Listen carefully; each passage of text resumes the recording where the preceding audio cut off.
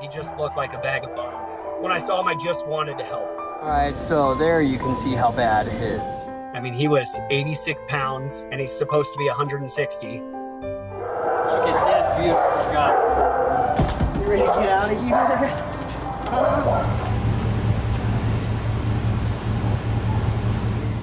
When I first brought him in to start feeding him, we knew that it had to be something that would gain a lot of weight. So Goliath hasn't been eating for a long time. What do you think, buddy? He didn't want to eat. He had just been let down, so he needed someone to trust. He finally gave in. Good boy. As I would go to feed him, it'd be more about connecting with him and letting him know I'm taking care of you. I can feel him stuck in his jaws. You big baby. You pass out. He had became attached with me. I became attached to him. That's a big alarm clock. He became a big grandpa for all of my other rescue dogs coming in. Quality sniff today. He does his sniff approvals. Yeah. Good. There it is. He is the intro dog for everybody. Every puppy sleeps in his little crevices. He became the glue to the pack. Come on, big man. He started getting better. Goliath got to 160 pounds. He was looking really, really good.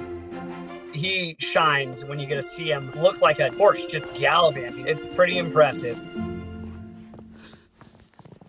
He always crosses his hands when he sleeps. Once Goliath recovered, I decided that I wanted to be the person to adopt him because I could never imagine anybody ever letting him down ever again. Yeah. Good boy. Now my dog, so he gets the ability and privilege to be very spoiled. if he wants mashed potatoes, he can have it. He gets whatever he wants in this lifetime. Goliath has lived the lifestyle of his name. He went on the Hallmark Rescue Dog Awards and ended up winning Best in Senior. That also led him to go on the Kelly Clarkson show. Everybody loved him. Every time he'd walk in a room, he would just light it up. Here we are, yet again, trying to put my boot and clothes on. Not letting it happen.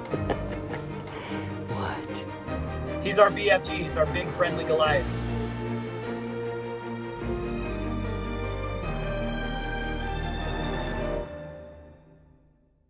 Are you gonna sit on your littles? Oh, hey, oh, oh, puppy!